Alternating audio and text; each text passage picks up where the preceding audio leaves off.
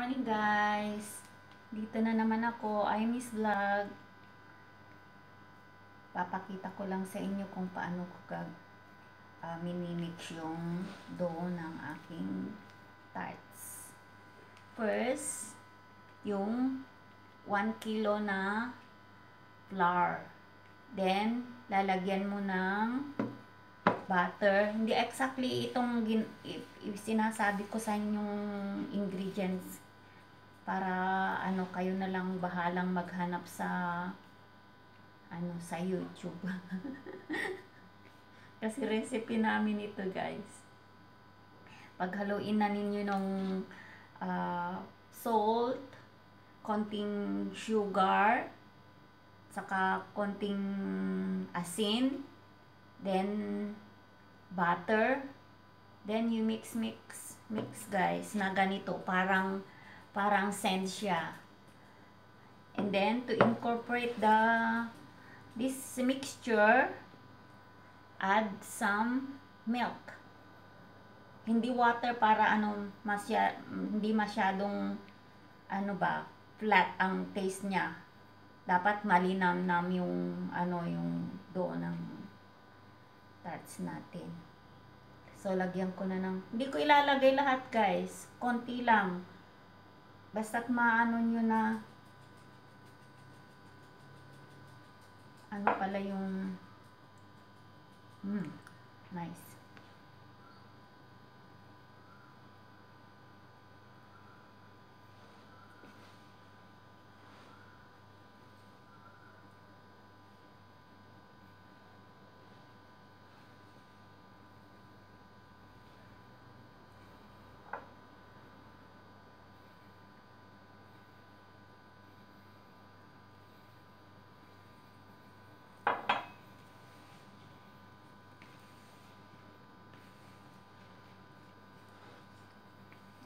Tikman ko kasi baka ma asin yung ano.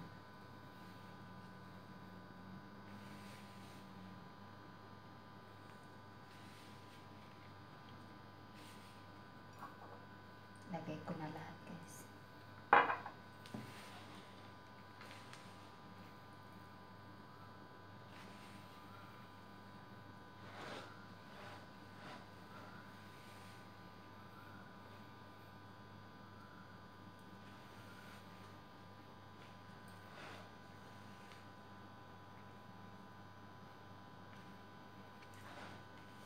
Dapat wag i-mix ng mabuti guys. Yung hinay-hinay lang siya para ano para maging maganda yung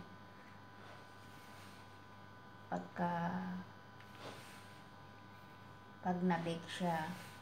Kasi pag na, na mix ng mabuti yung parang pinong-pino parang yung gumagawa ka ng pizza dough hindi ganun guys. Dapat ano siya, rough. Medyo rough ang texture niya. Saka talagang hinehen mixed ito guys. Hindi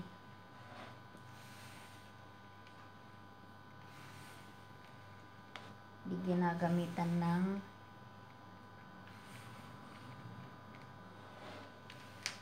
ganito siya. Ano ba yan?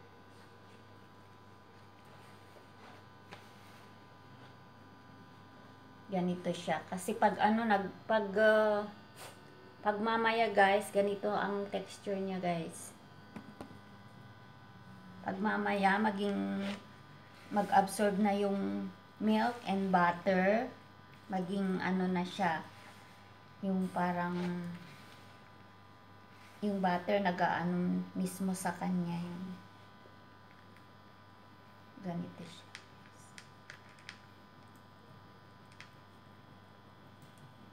Kasi pag inano mo sa rolling pin, magiging one one piece na siya. One, ganito siya guys.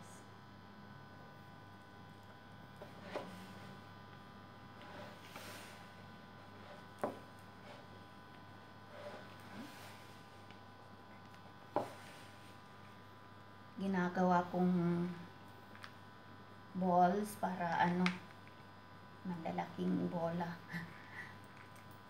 Para madaling i-roll. Kasi yung rolling pin ko guys ano medyo maliit. Empty. Para maging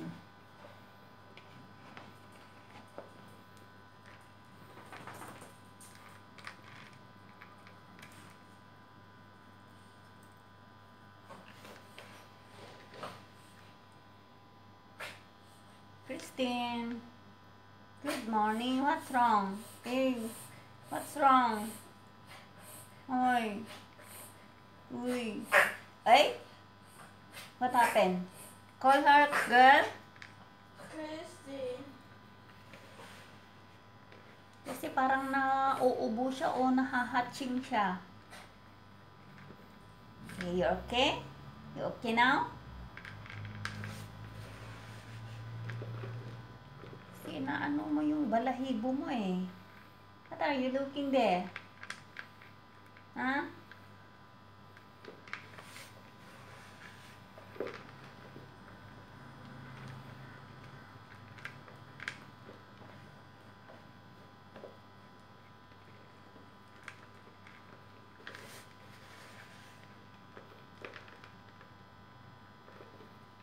pag na-incorporate lahat sa ano, magiging ano siya, parang matigas siya guys, pero pag once na nag-absorb yung butter sa flour itself, magiging malambot na siya guys. Yan ang ano. So don't worry. Na uh, ang pag-bebek naman is just like an art eh. Yung kumins talagang hindi ako nagme-measure.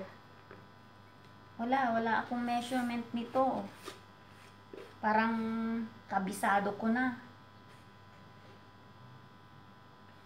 Minsan nag-measure ka, hindi, hindi naman tama. Dapat yung texture, yung lasa niya, lalasahan mo na habang ginagawa mo para ano, alam mo na yung lasa niya ba. Yung hindi mo mahahalata yung salt kasi may ano konti lang ang salt pero talagang may nalagyan mo na mo ilalagay yung 1 tablespoon gan parang ano. Pero yung mga ingredients na talaga kailangan ng measurement may measure nyo. Pero dahil sa ano ko na ito kabisado ko na ito guys yung mga ano yung ingredients na to nagawa ko na guys ng balls. Then, I have to leave it for a while. Maybe about 10 minutes. Ganon. Ganyan. Then, I will leave it like this. Ganito guys. Ganyan. Lilip ko siya ng ganyan. Then, I cover it with towel para ano siya, nag, then I have to clean the place first. Diba? O, sige guys, I see you in a bit. So, start ko ng lagyan ng ano, butter sa yung mga trays guys. First lang, First lang ninyo lagyan ng butter na ganito para yung ano. Pero pag ano na, second batch yung ano nyo, tray nyo, hindi na nyo dapat lagyan. Kasi ano na, season na siya.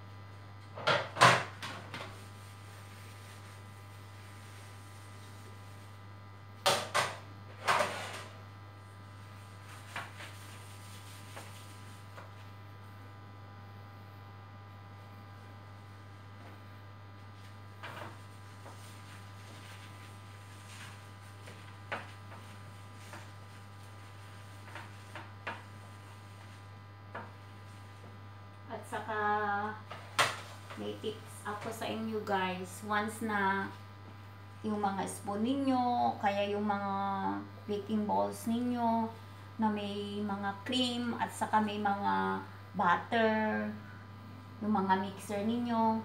Huwag ninyong hayaan i wash kaagad sa sink ninyo guys para hindi mag-clog. It's either you you get a paper towel, kitchen towel, paper ha. Pagkatapos i ano nyo guys, i, you have to clean it this way. Kahit na ano, basta tanggalin ninyo yung natitirang mga mga ano ng mga cream, mga butter kasi nag-clog sa And then after that, you can also, if you want, you can also put uh, hot water but it's better na tanggalin muna ninyo yung mga natitirang mga butter o kaya cream, mga natitirang mga ganon para hindi mag-clog yung ano nyo guys.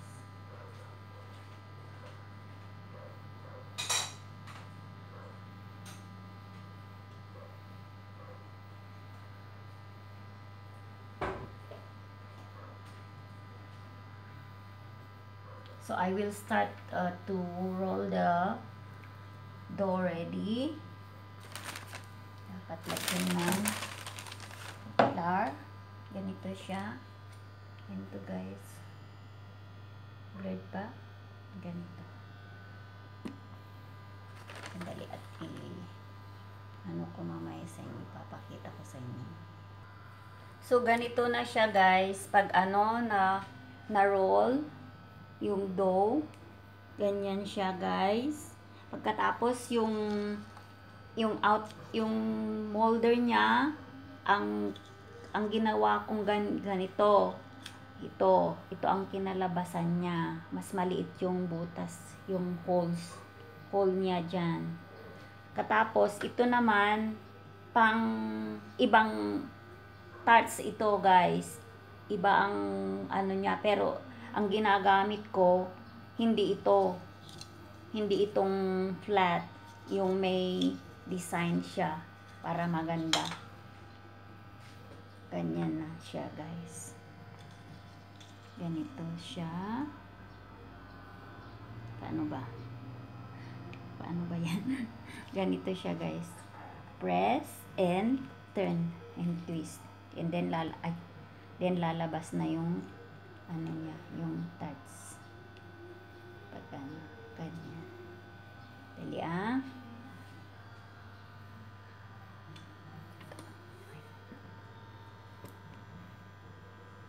Ganito ang labas niya guys. Then, have to take it out gently. Then, ganito na siya.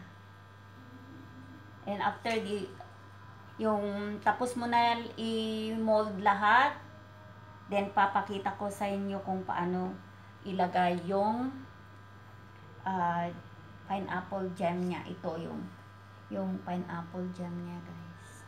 Yan. Gawa ko rin yan. Maybe ito, apat na malalaking, no, medium size na pineapple. Yung inano ko sa sugar, and then a bit of cinnamon and star anise. Ganyan. Pero wag niyo lalagyan ng tubig. May tubig yung ano mo pag uh, ini na grind na yung yung pineapple, nagtutubig siya. Dapat tanggalan ng konting tubig. Yung juice. Yung pineapple juice, guys. Para hindi masyadong ma, ma longer ang pagluto ng jam ninyo. Okay, guys. See you in a bit. Ito na guys. Mamaya lalagyan ko na lang siya ng ng jam. Ilagay ko lahat sa tray yung yung tart para ano, para isang beses kong lalagyan din siya ng ng jam guys on top. Okay guys, see you in a bit again. Ngayon tapos ko na guys. Lahat, you know. Ito na. Apat yan. Tapos meron pang konting ano. Ngayon maglalagay na ako ng gem guys. Ganito. I gagawin natin ball yung ano, yung jam. Pagkatapos ilalagay ng ganito. Ito guys. Gaganyan siya.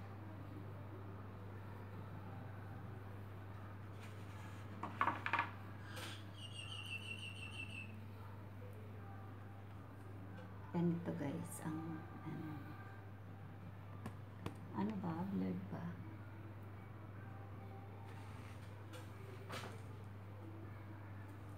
Kasi walang ilaw dyan.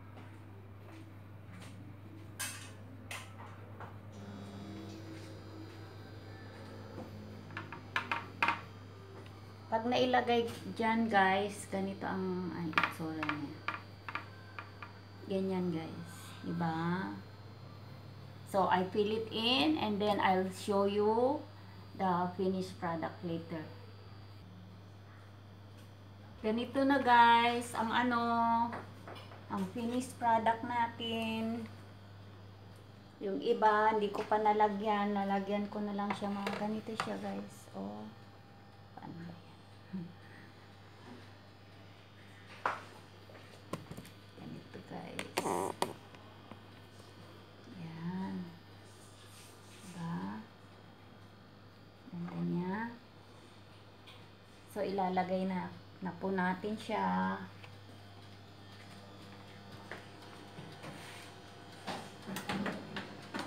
So,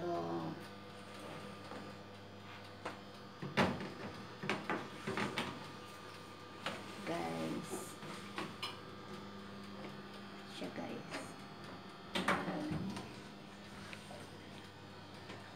So, see you on my next vlog, guys. Tapusin ko na lang ito. Please click like and subscribe on my channel. I miss vlog. I wish you a very Merry Christmas and Happy New Year to all the vloggers to all my subscribers. Thank you. God bless.